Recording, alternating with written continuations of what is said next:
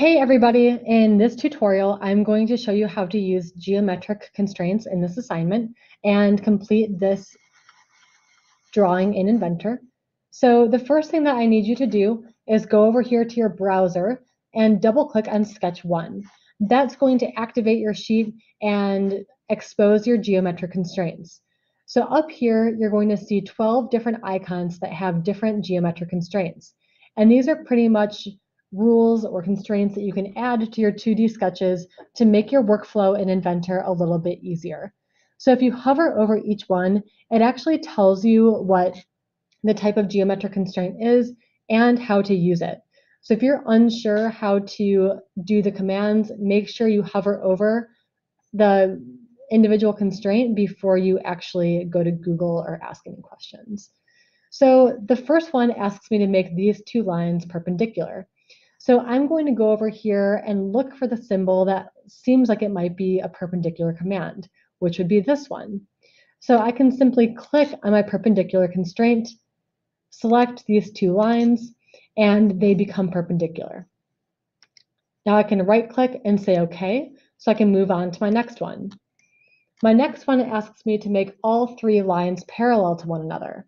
So there's a couple of options up here that look like they could be parallel. This one is equal, which is not what I want. This one could be parallel, but this is a horizontal constraint. So it must be this one. All you need to do is click on the constraint and click on each line that you want to have parallel to one another. So now all these lines are parallel. What you might notice as you're completing each one of the commands is that the geometric constraints will actually show up as symbols next to your sketch. For the last example, this one has some new terminology on it. So we want to dimension circle number three to have a diameter of two inches.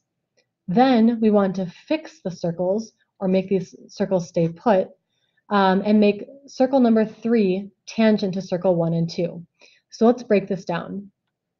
We want to dimension circle number three to be two inches. So I'm going to click on circle number three drag out my dimension and type in 2 and press enter. I'm going to right click and say OK to finish that command. Now I want to fix circles 1 and 2. Fix is a geometric constraint, and I know that that's the lock.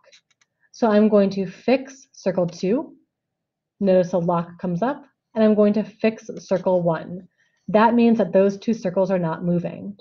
I will right click and say OK to finish those two commands. Lastly, I want to make circle 3 tangent to circles 1 and 2. So I'm going to go up to my geometric constraints and find the tangent option and click on it. So I know that I need to make circle number 3 tangent to circle 2 and circle number 3 tangent to circle number 1. And notice two tangent symbols show up next to each one of them. So you can right click and say OK to finish those commands. Now you're going to go through each one of these options and you're going to show me your knowledge of geometric constraints using these tools. To submit this, this assignment, you're going to go to File, Export as a PDF, and make sure you go into your Inventor folder.